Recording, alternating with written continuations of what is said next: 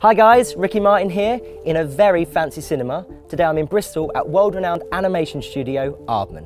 One of Aardman's current projects is a game collaboration between DigixArt Studio and Bandai Namco. More specifically, Aardman is designing and building the look that will set this game apart from anything else. Today, we'll speak to art director Bram Ttwheam about the journey that led to the game's unique style. This is 1111, Memories Retold, Behind the Scenes. I'm Bram Ttwheam and I'm the art director for 1111.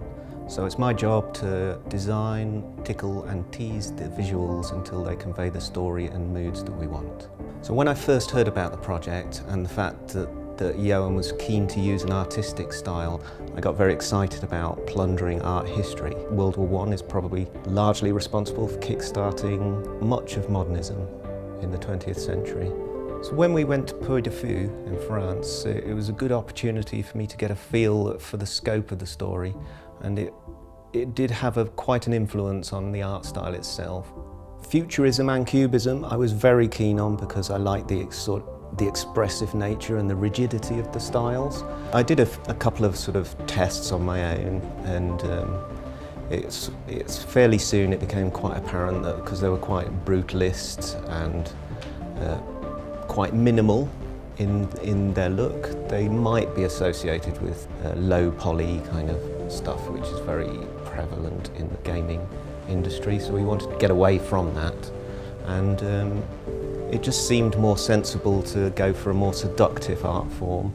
At one stage, we were thinking of perhaps pursuing um, Impressionism a bit more vehemently than we currently do.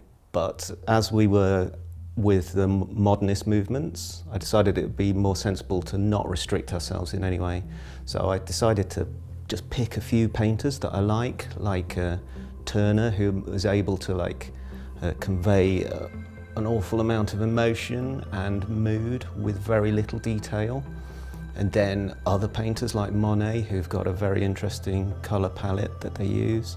But uh, beyond that, there was um, Alexander Petrov, who's a, a, Russian artist who does oil on glass animations, and that in particular is a theme that we pursued when we were developing the shader itself.